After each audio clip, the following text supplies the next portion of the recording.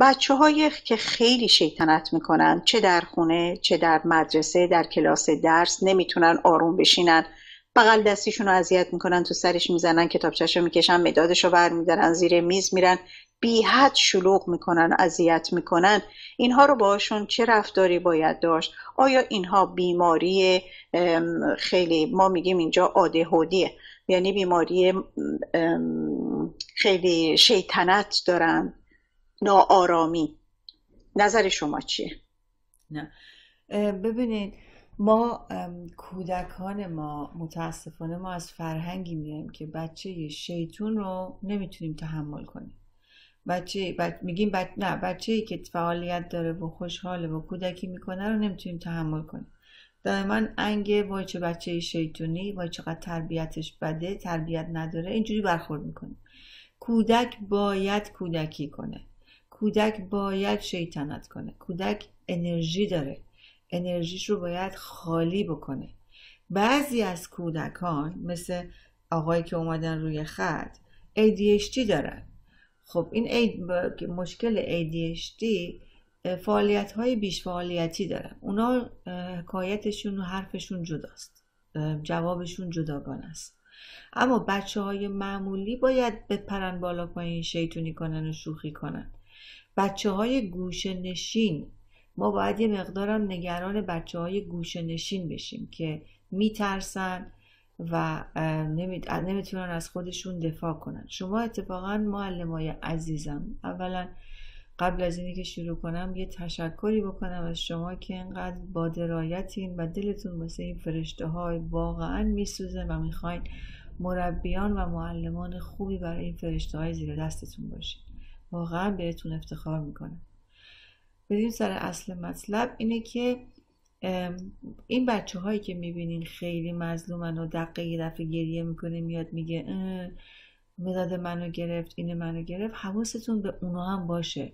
یا این بچه ها لوسن بیش از حد توی خانه لوس شدن یا این بچه ها ضربه های روحی خوردن از خودشون نمی‌تونن دفاع کنن. حواستون شما از نظر روحی روانی به اون بچه ها هم باشه. بچه های دیگه هم که شیطونی می‌کنن خب حق ندارن بیان بولیه. ما به انگلیسی میگیم بولی می‌کنن. یعنی آزار و اذیت میدن بچه های دیگر اونجاست که اگر احساس کردین شیطنت معمولی نیست دارن آزار میدن یه بچه. چون وقتی می‌بینن که یه بچه مظلومه یا لوسه می‌خوان سر به سرش بذارن. به همین دلیله که بیشتر میان سراغش. و شما اون بچه ای که گریه می‌کنه و ضعیفه رو شما باید کمکش بکنین بهش اعتماد به نفس بدین که نستو هم صف وایسا بگو نه یا تو بازیاشون تو هم شرکت کن. تو با... حالت بازی. شما با بچه ها توی مدرسه حداقل شما معلمین آگاه و با درایت. سعی کنین تو مدرسه درس دادن ها تو خشک نباشه. به صورتش فان و شوخی باشه. بچه ها خیلی بهتر یاد می‌گیرن. معلمی که فانیه معلمی که فان داره معلمی که دعوا نمی‌کنه معلمی که مهربانه. بچه ها هم بیشتر اون معلم رو خیلی دوست دارن و هم بسیار کمتر آسیب می‌خورن.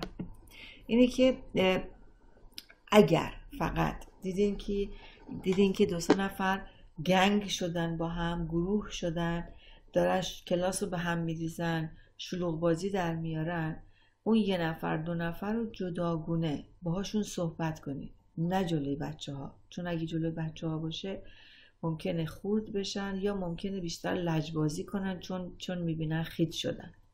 بعد بچه های دیگه ممکنه مسخرهشون کنن که آقا معلم آقا معلم خانم معلم خیتت کرد. به همین خاطر جداگونه توی دفتر باهاشون صحبت کنید که این رفتارا رو نباید توی مدرسه تو کلاس اگر زمانی که درسه جدی بگیرین. زمانی هم که می‌خوایم شوخی کنیم با همدیگه شوخی می‌کنیم. بعد چرا ما خودکار یا مداد اون بچه رو هی میری برمیداری؟ دلیل اینه که داری اذیتش می‌کنی چیه؟ با مهربانی یا یادتون باشه. تون اگر یه ذره تون صداتون صدای تهمت و صدای صدای تنبیه بد باشه بچه میترسه دروغ میگه.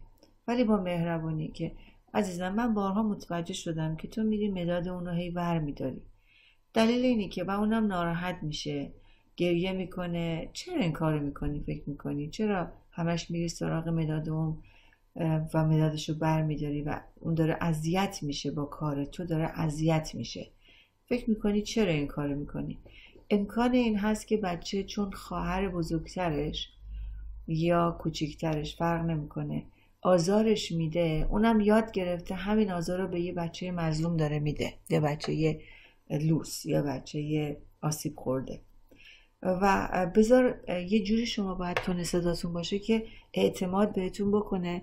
فکر نکنه که الان محکومش می‌کنین و دعواش می‌کنین و آبروشون می‌برین. صداتون اصلا نباید این تون صدا باشه. یه تون صدای مهربون عزیزم. که بذار تعریف کنه. بذار بهتون بگه آره خواهرم این کارو با من می‌کنه. یعنی میاد اذیتم می‌کنه. یا یه خشم دیگه ای از پدر مادر دارن. اجازه بدین به بچه یعنی خودتون بشین مشاور این بچه ها این فرشته های زیر دستتون. چون ما نمی‌دونیم از کاخ تا کوه بچه ها آسیب می‌خورن. فکر نکن دکتر و مهندس اگه بابا مامانشون هستن پدر مادر پس اصولی هستن. اصلا ربطی به تحصیلات و پول نداره. پدر بودن و مادر بودن اصولی. اینجوری بچه احساس می‌کنه آخه پس تو منو محکوم نکردی داری با من حرف می‌زنی. و وقت صادقانه حرف می‌زنه باهات.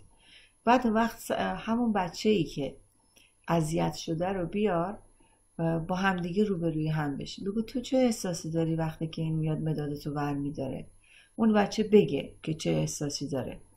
بعد اون بچه بشنوه که این, این آزار داره می‌بینه وقتی که تو مدادشو برمیداری اینجوری احساس می‌کنه داری اذیتش می‌کنی.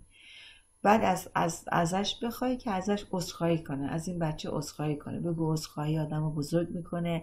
من خودم هر وقتی که اشتباه می‌کنم از بچم عذرخواهی می‌کنم بچم میاد از من. یا اگر بچه نداریم به فرض بگین که مثلا من از مامانم مامانم از من بابام از من خودتون رو بیارین مثال بزنه عذرخواهی رو یاد بدین شما چون تو فرهنگ ما ما متاسفانه عذرخواهی نداریم. که این بچه بگه ببخشید معذرت بعد بگه به به آفرین کیف کردم حالا دوست دارین همدیگه رو بغل کنید یه هاگ به همدیگه بریم بعد بگید دوست دارین ستاییمون همدیگه رو بغل کنیم ستاییتون همدیگه رو بغل کنیم اینجوری. یعنی قشنگ این احساس دلگرمی و احساس خوشنودی رو به این دوتا بچه بده که, که دفاع از هیچ کدومشون نکردی هیچ کدومشون هم محکوم نکردی بلکه عشق و محبت گذاشته جای لجبازی و بولی کردن و آزار دادن. اینجوری که هر دو بچه با خوشایندی از هم از, از, از دفتر میرن بیرون و خوشحالن که آبروشون هم جلوی بچه های دیگه نرفت و بهشون هم بگو امیدوارم دوستای خیلی خوبی باشین همدیگه رو همیشه حمایت بکنین. و توی کلاس هم سعی کنین حواستون بهشون باشه که دوستیشون رو شما بیشتر بکنین. یعنی اگه یه کار گروهیه این دوتا رو بذاره در کنار هم تو کار گروهی که یه دوستی خوب از حالا به بعد شروع بشه بینشون.